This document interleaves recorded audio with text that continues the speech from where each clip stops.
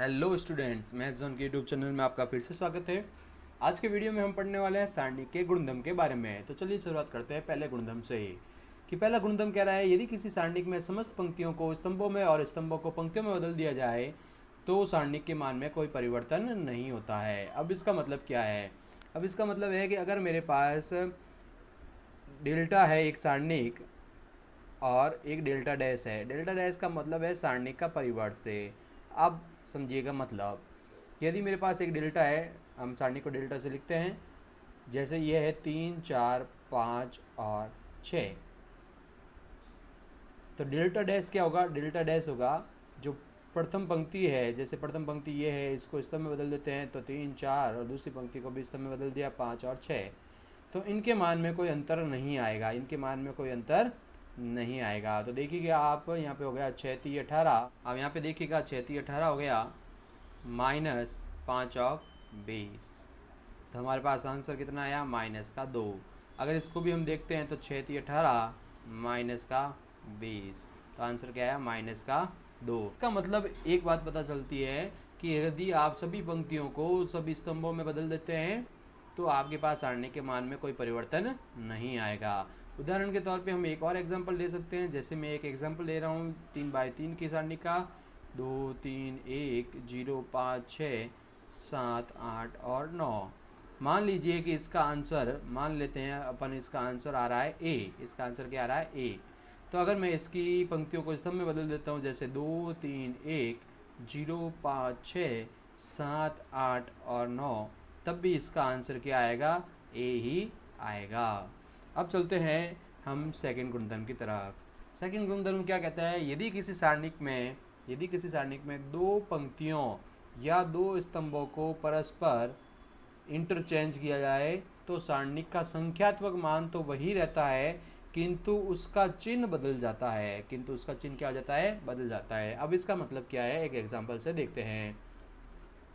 एक एग्जांपल ले रहे हैं तीन बाई तीन के लिए। डिटर्मिनेंट का, ये हमारे पास है डिटर्मिनेंट और इसको हमने लिख दिया एक, दो, यहाँ पे लिख दिया चार ज़ीरो पाँच, एक, दो, तीन और चार। जैसे एक ये डिटर्मिनेंट है और अपन इसको सॉल्व कर लेते हैं तो सॉल्व करते हैं तो यहाँ पे अपने पास आ जाएगा, ये हो गया एक, ये हो गया पाँच चौक बीस माइनस तीन माइनस दो, ये हो जाएगा ज़ीरो माइनस दो, और ये हो जाएगा हमारे पास चार, ये हो जाएगा ज़ीरो माइनस दस।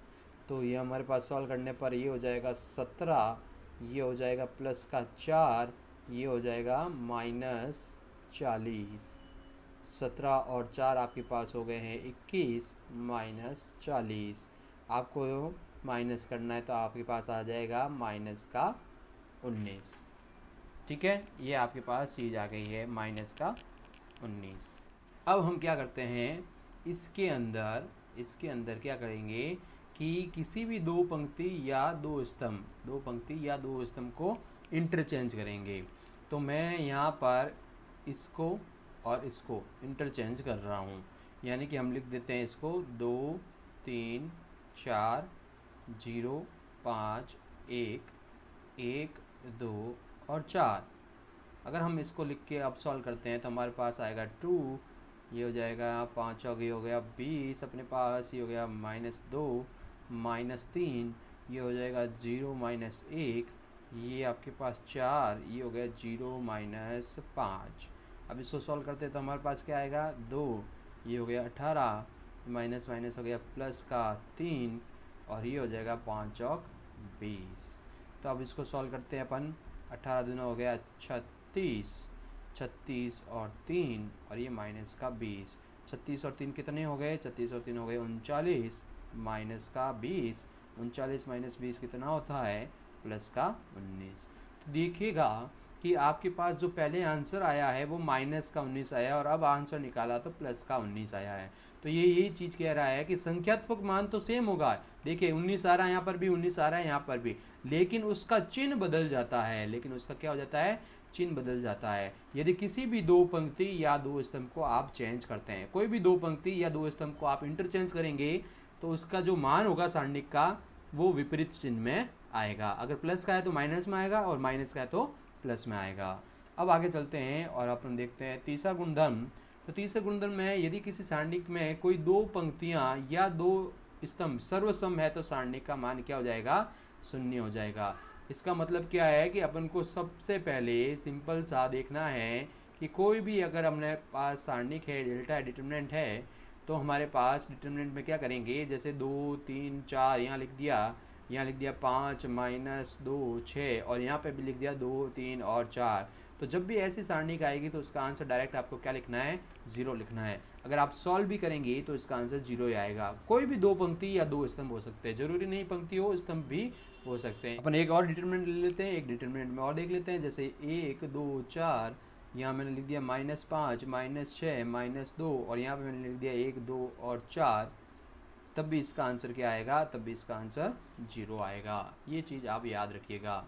अब इसके अंदर एक पॉइंट आपको और याद रखना है कि यदि किसी भी दो पंक्ति या दो स्तंभ के सभी अवयव, के सभी अवयव सभी अवयव अनुपात में समान हो, सभी अवयव अनुपात में समान हो। अब इसका मतलब क्या है? आप देखिएगा। अनुपात में समान। मतलब है कि जैसे मैं लेता हूँ एक, दो, चार, यहाँ ले लिया मैंने पाँच, छः, सात, यहाँ लिख दिया दो, चार और यहाँ लिख दिया आठ। तो अब यहाँ पे एक बात पता चल रही है कि यहाँ पर ये जो C1 है और यहाँ पर ये जो C3 है, अगर मैं इनके अवयवों का अनुपात निकालूं तो ये आएगा एक बटा दो बराबर एक बटा दो बराबर एक बटा दो, संगत अवयव, पहला पहले के साथ, दूसरा दूसरे के साथ, तीसरा तीसरे के साथ। तो जब भी ऐसी चीज़ आ जाती है, अगर अनुपात उनके बराबर होते हैं, तब भी उसका आंसर क्या आएगा? ज़ीरो आएगा। अब कैसे आएगा, वो भी देख लेते हैं।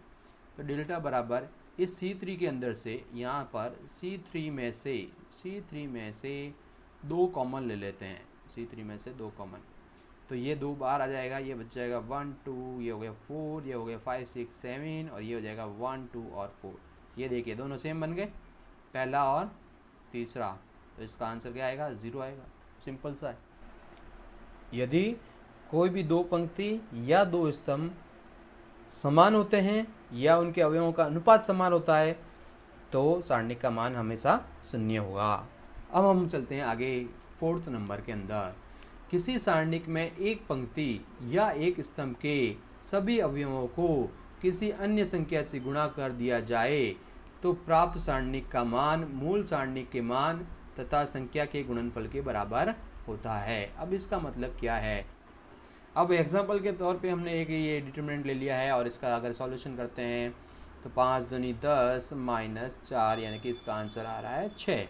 अगर मैं इसको किसी भी संख्या से गुणा कराऊँ, देखिएगा, अगर मैं लिखता हूँ पाँच डेल्टा, अगर मैं क्या लिखता हूँ? पाँच डेल्टा। तो मैं लिखूँगा पाँच और डेल्टा को इस प्रकार से लिखूँगा। ठीक है? तो आप इसको क्या लिखेंगे? पाँच इंटू छः। पाँच इंटू छः, यानी कि आंसर क्या आएगा? तीस।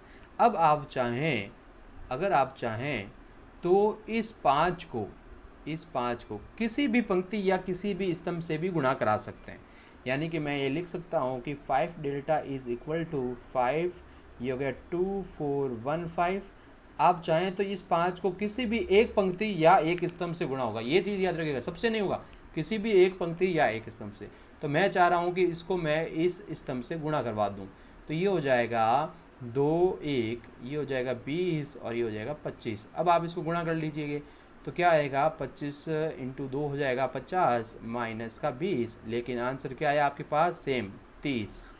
तो चाहे तो आप इस प्रकार से सॉल्व कीजिए कि पहले सारणी को सॉल्व करके उस संख्या से गुणा कीजिए, या फिर उस संख्या को किसी भी एक पंक्ति या एक स्तंभ से गुणा करके सारणी को सॉल्व कीजिए। अब है हमारे पास गुणधर्म नंबर पाँच। किसी सारणिक में किसी पंक्ति या स्तंभ का प्रत्येक अवयव दो या दो से अधिक संख्याओं का योग हो तो उस सारणी को उसकी क्रम की दो या दो से अधिक सारणिकों के योग के रूप में व्यक्त किया जा सकता है। अब इसका मतलब क्या है, वो आप देखिएगा। अगर मेरे पास है A plus X B plus Y C plus Z और यहाँ पर है ई एफ़ जी एच आई और जे ये एक सारणिक है। तो मैं इस सारणिक को इस प्रकार से लिख सकता हूँ। ए बी सी ई एफ़ और ये जी यहाँ एच आई जे इस प्रकार से। प्लस यहाँ हम लिख देंगे एक्स वाई और Z E F G H I J तो इस प्रकार से आप इसको भी लिख सकते हैं। दो अलग अलग सारणिकों के योग के रूप में। चलते हैं, सारणिक का गुणधर्म नंबर है सिक्स कि किसी भी पंक्ति या स्तंभ के प्रत्येक अवयव में किसी अन्य पंक्ति या स्तंभ के संगत अवयवों का कोई अचर, गुण जोड़ने या घटाने पर मान में कोई परिवर्तन नहीं होता है। अब इसका मतलब आप देखिएगा कि यदि मेरे पास लिखा हुआ है A B C X Y Z और पी क्यू आर ठीक है? और इसको सॉल्व करने पर मेरे पास आंसर आता है कैपिटल ए मेरे पास आंसर आता है कैपिटल ए अगर मैं किसी भी पंक्ति या किसी भी स्तंभ को, किसी भी पंक्ति या किसी भी स्तंभ को अचर से गुणा करके जोड़ दूँ या घटा दूँ मतलब क्या है कि जैसे मैं आर वन को लिख रहा हूँ R one plus lambda R three अब इसका मीनिंग क्या देखेगा? इसका मीनिंग क्या है कि जो आर थ्री है आर थ्री का मतलब ये वाला, इसको मैं लेमड़ा से गुणा कर रहा हूँ। लेमड़ा एक अचर है और मैं इस आर वन के साथ जोड़ रहा हूँ। तो ये क्या बन जाएगा? देखिएगा ज़रा। ये बनेगा A plus lambda C X plus lambda Z P plus lambda R और बाकी चीज़ें ऐसे कैसी B Y Q C Z R अगर मैं अब इसका मान निकालने की कोशिश करूँगा तो इसका आंसर भी क्या आएगा? ए ही आएगा। मान में कोई परिवर्तन नहीं होगा। ये चीज़ याद रखिएगा। ये इम्पोर्टेंट है। हम जो प्रूव करने के क्वेश्चन करेंगे, सिद्ध करने के क्वेश्चन करेंगे, उसमें ये ज़्यादातर यूज़ किया जाता है। ठीक है? तो ये इंपॉर्टेंट पॉइंट है छठा। अब आगे चलते हैं और नेक्स्ट गुणधर्म में हमारे पास, यदि किसी सारणी के, किसी भी पंक्ति या स्तंभ के अवयवों को किसी अन्य पंक्ति या स्तंभ के संगत सखंडों से गुणा कर दिया जाए तो प्राप्त राशियों का योग क्या होता है? शून्य होता है।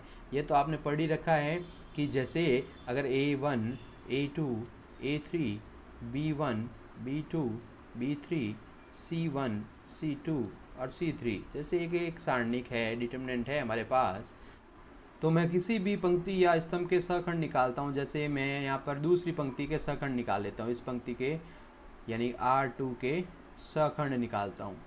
अगर आर टू के सखंड निकालता हूँ और वो आएँगे हमारे पास F two one F two two F two three ये हमारे पास सखंड आ गए हैं।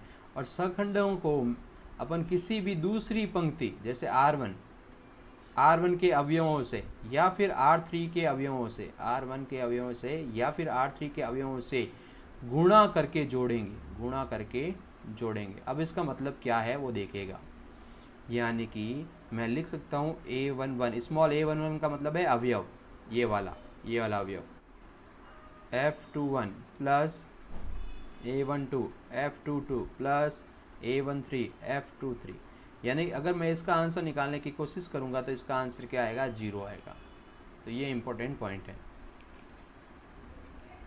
किसी सारणिक के, किसी पंक्ति या स्तंभ के सभी अवयव शून्य हो तो सारणिक का मान शून्य हो जाता है। ये अगला गुणधर्म है। बहुत इजी है। Two, four, five, zero zero zero, seven, two, zero. अब आपको इसको सॉल्व करने की ज़रूरत नहीं। इसका आंसर सीधा आप क्या लिखेंगे? ज़ीरो लिखेंगे। अगर सॉल्व भी करेंगे तो आंसर ज़ीरो ही आएगा। तो यदि किसी भी पंक्ति या स्तंभ के सभी अवयव क्या है? शून्य है तो उसके सारणी का मान शून्य होगा। ये चीज़ याद